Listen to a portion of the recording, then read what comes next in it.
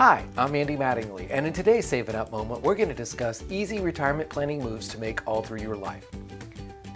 Some often feel that retirement planning has to be a sophisticated and time consuming process.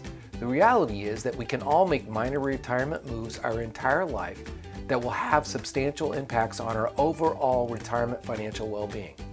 Another myth is that only what you save for retirement matters when in fact every financial decision you make impacts your retirement. Here are a few lifetime moves to consider. Determine retirement spending needs. That way you know how much you have to save. Continually update your estate plan so that your assets are protected. Build your health savings account so that you have funds for medical expenses in retirement. Contribute as much as possible to retirement. This is the best move to ensure the financial wellness that you want in retirement. Build passive income streams for retirement. Dividend investing, real estate, and more are good ways to build passive income streams. Invest outside of retirement plan.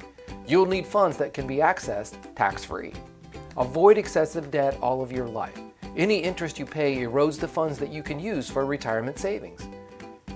Don't spend too much on vehicles. Depreciating assets don't add any financial value.